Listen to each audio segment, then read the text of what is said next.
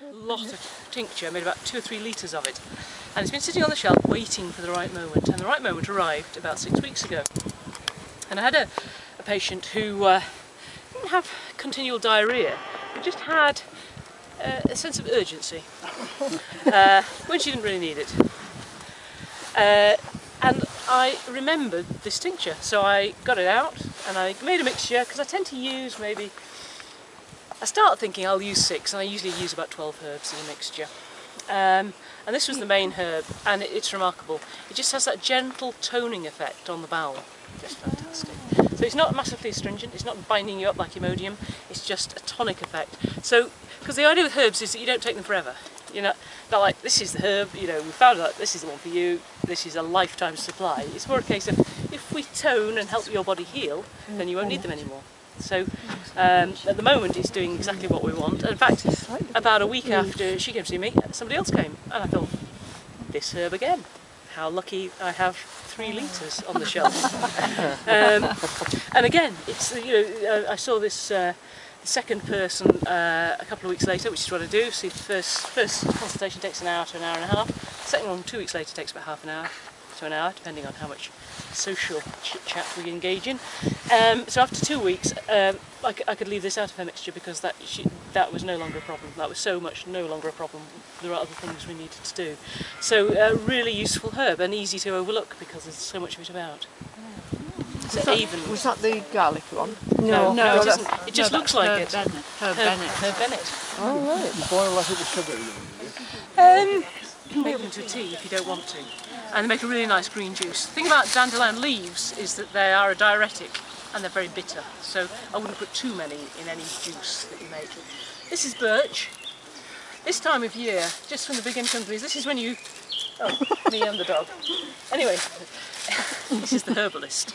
I'm the mouthpiece. Um, you drill a hole in the tree, you have a word with it first. You say, how do you feel about this tree? And the tree says, whatever uh, and you make a groove and you tie a, a, pot underneath it and the sap will, will drip into the container and then you can make wine. It's quite nice. Mm. So you can make wine out of dandelion heads. Uh, but birch tincture is often made from the leaves or it can be made from the sap.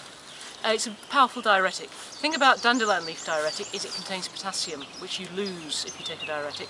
This doesn't contain potassium, so you have to make sure there is potassium uh, in your diet if you're taking a supplement. But it works very well, particularly if you've got quite swollen joints, you know, with arthritis and things, it can be very helpful. But the important thing is not to take too much, because it can be quite drying. So uh, it's in moderation, but I do use it occasionally with different patients. People for whom they can they hold a lot of fluid, it's a really good way of helping them release it. Sarah, you can buy a sugar that's made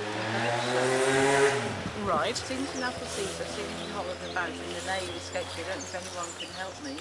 But is that going to have side effects, like the sort of thing you're talking about? Yes, but I, I don't think you're going to be taking enough of it okay. to have the effect. I mean, there's, the sort of side effects but you're taking quite a high dose. Uh -huh. So uh, if you're having birch syrup sugar, sounds good, doesn't it? So what you do is you gather the sap in the way I've described and then boil it until it becomes like a syrup. Probably. There's no Question mark. in it and people have diabetes can use it as a sweet. Right, excellent. Okay, yeah. didn't know about that. There we go, another use. Um, I think it helps, I don't the garlic smell. It's uh, it doesn't have a bulb, for this particular garlic, and it's very good to, it. you can add it to um, stir fries and to omelettes and to all sorts of food, but don't use too much of it. It contains quite a lot of oxalic acid, so which can cause, if you have a tendency towards kidney stones, it can aggravate it, or even joint pains, or even gout. So it's good, but just moderation again. But then it is garlic, so probably moderation is the way you'd approach it. Um, standard garlic, Mediterranean garlic, with the bulbs, is uh, was used in, the, in World War One in the way that we now use antibiotics. And uh, having read that piece of information, I went on holiday with a friend to uh, Ladakh. She got a, a, tropical ulcer, and I thought, pack it with garlic. Apparently, it hurts if you do that. So uh, I haven't tried it since. we are still friends. Um, but it is very antibacterial, so it does it does prevent infection. Um, what it's so it's good for, and because it's very smelly, it contains allicin, which is the smelly element. It diffuses through tissue. So if you've got a small child and you've nothing better to do, you can rub its feet with cut garlic, and very quickly its breath will smell of garlic. uh, Which can provide entertainment for hours.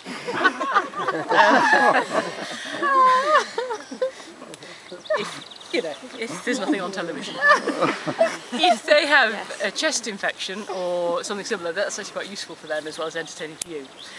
Um, so it's antibacterial, antiviral, uh, antifungal, uh, anti, it's, uh, against parasites, garlic, Anti-fly? anti-fly. If you want to smell like garlic, the flies hate you. Friends may be a little bit doubtful, uh, but yeah, absolutely good, good point. It's also a blood cleanser, blood thinner, lowers cholesterol, uh, powerful antioxidant, um, useful preservative. It's um, woodpecker. Getting closer. Um, so it's a good all-round herb. So this is, and you'll find sheep and cows and all. I mean, the dogs won't eat it because they eat grass. Uh, but other animals will graze on this at this time of year as a sort of wormer and a blood cleanser. Another one of those blood cleansers. Oh, yeah, I see it.